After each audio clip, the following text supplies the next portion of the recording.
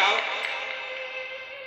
कोई बकरे को काट रहा है और कोई बकरे को, बकरे का इलाज कर रहा है। एक आदमी बकरे को काट रहा है और एक आदमी बकरे का इलाज कर रहा है। आपके हिसाब से इन दोनों में धर्मात्मा कौन है? बोलो। एक मुर्गी को मार रहा एक मुर्गी का इलाज कर रहा है। आपके हिसाब से धर्मात्मा कौन है? धर्म किसके पास? है एक मछली को मार रहा है और एक मछली को दाना डाल रहा है। आपके हिसाब से धर्मात्मा धर्म किसके पास ज़्यादा बोलो। हाँ यही तो धर्म है। जिसके पास धर्म होगा, वो कभी मछली की जान नहीं लेगा। जान वही ले सकते हैं जिनके जीवन में धर्म अस्त हो चुका है। धर्म का सूर्य अस्त हो गया है। आप लोग अपने जीवन में धर्म को अस्त ना होने दीजिएगा। अपने जीवन में क्या अस्त ना होने दीजिए? धर्म का सूर्य अस्त ना हो। धर्म को बचा के रखिएगा। आज मांस कौन खा रहा है? धर्मी या अधर्मी? धर्मी क्यों खाएगा? आप मेरे सामने मांस परोसिए, अंडा, मुर्गी, मछली, बकरा, बकरी, और कहिए, महाराज जी, मैं आपको सौ करोड़ रुपए दूँगा, आप ये मांस खा लो। आप सौ करोड़ नहीं, लाखों करोड़ पूरी दुनिया मेरे नाम लिख दीजिए तो भी मैं उस मांस को स्पर्श नहीं करूँगा। क्यों? क्योंकि पैसों से ज़्यादा कीमती मेरा धर्म है। धर्मो रक्षति रक्षिता।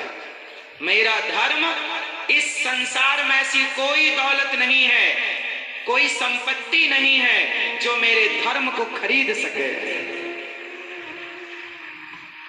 धर्म जब होता है तो धर्म आपको सबसे श्रेष्ठ बना देता। है इसलिए किसी की हत्या करने वाला धर्मात्मा कैसे होगा? इसलिए अपने बच्चों को सिखाओ, तुम्हारी अनपढ़ दादी, तुम्हारी अनपढ़ नानी,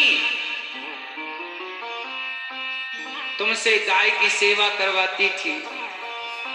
पहली रोटी गाय की, कुत्ते की निकलवाती थी। वो अनपढ़ लोग थे हमारे देश में, लेकिन वो जीव मात्र के प्रति दया का भाव रखते थे। चीटी को दाना डाला जाता था। आज कुछ लोग चीटियों पर गर्म पानी फेंक देते हैं कि हमारे घर में चीटियाँ बहुत आती हैं महाराज।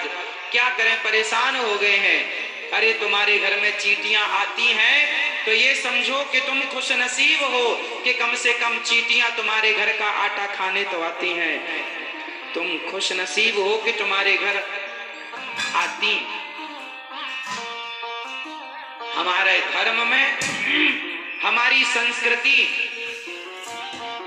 पक्षियों से लेकर पशुओं से लेकर जीव मात्र की सेवा करना सिखाती है। इसलिए आप अपने बच्चों को सब पढ़ाओ, इंजीनियर बनाओ, डॉक्टर बनाओ एडवोकेट बनाओ पायलट बनाओ, जो बनाना मर्ज़ी बनाओ, सब बनाओ, पर सबसे पहले उन्हें धर्मात्मा बनाओ।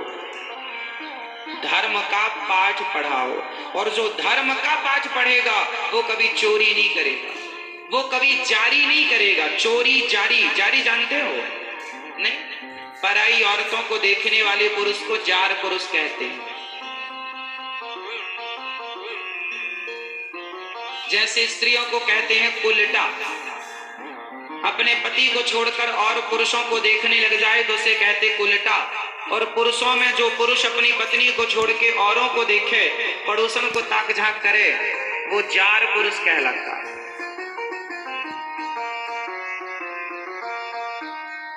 तो चोरी और जारी।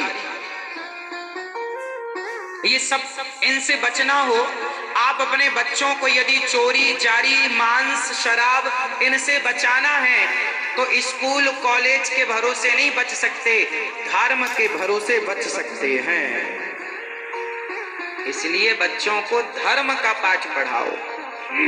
पढ़ाओ, स्कूल, कॉलेज सही है, पर घर में आए तो बच्चों को धर्म सिखाओ, बेटा, क्या धर्म है और क्या अधर्म है? धर्म और अधर्म का, की पहचान करना सीखिए। है ना?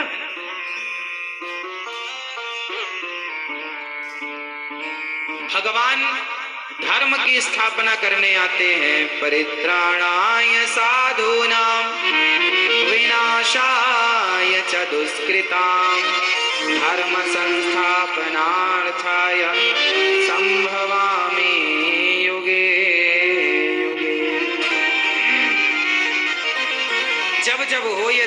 ये हानि बाढ़ी असुर, अधम, अभिमानी, तब तब, धरी प्रभु, विविध शरीरा, जब जब धर्म का धर्म पर अत्याचार होता है, तब तब भगवान आते हैं और धर्म की स्थापना करते हैं। भगवान धर्म की स्थापना करने के लिए कितनी बार आ चुके हैं, कौन बताएगा? आप बताएँगे मैया, कितनी बार भगवान आ चुके हैं धर्म की स्थापना करने धरती पर? कितनी बार? आप बताओ कितनी बार? अभी तक भगवान तेईस बार आ चुके हैं। इस कलयुग के आखिरी में चौबीसवीं बार आने वाले हैं कल की अवतार लेकर के। तेईस अवतार भगवान के हो चुके हैं, चौबीसवा होने वाला। भगवान के टोटल कितने अवतार हुए? कितने? अभी तेईस हो चुके हैं, ट्वेंटी थ्री। अब चौबीसवा होगा कलयुग के अंत में। कौन कौन से अवतार हो गए भगवान के? पहला अवतार है सनकादि, सनक सनंदन, सनातन सनत कुमार। दूसरा अवतार है भगवान का बारह। बारह। बारह अवतार किस लिए धारण किया भगवान ने? हिरण्याक्ष नाम का एक दैत्य पृथ्वी को ले गया। तब भगवान ने हिरण्याक्ष को मार के पृथ्वी की स्थापना की। तीसरा अवतार भगवान का नारद जी।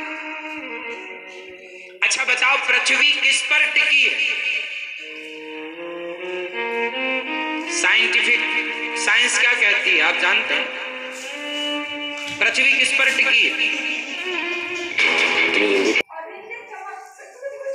हेलो दोस्तों, आप लोग प्लीज़ पूरा वीडियो देखिएगा। आप लोग कथा सुनिया कीजिए दोस्तों, प्लीज़।